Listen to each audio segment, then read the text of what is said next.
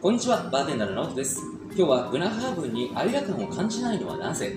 これを見ていきたいと思います。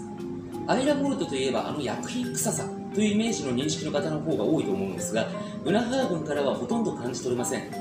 それはなぜなのか、今日ご覧いただいたブラハーブン80年代の12年、これをブライトで出された時にアイラモルトと断定できる方って非常に少ないと思います。正直僕もブライトで出された時全く分かりませんでした。それほど上品で優しい子です。1963年から1997年までのブナハーブン、実はノンピートで作られてるからなんです。1963年、ウイスキーの世界的需要が増えたこともあり、ブナハーブン蒸留所はポットスチルを2機増設します。それに伴い大きな変革をもたらします。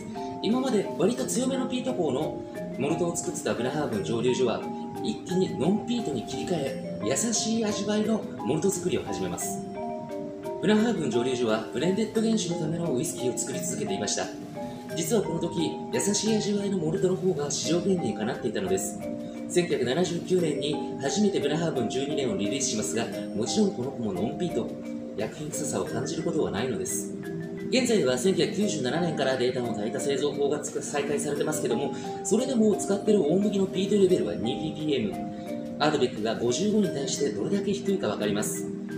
優しい味わいですので、ここからアイラを飲もうかなと感じている方、ぜひブナハーブンから挑戦してみてください。簡単でしたが、お分かりいただけましたでしょうか？それじゃあ今日はここまで。また見てね。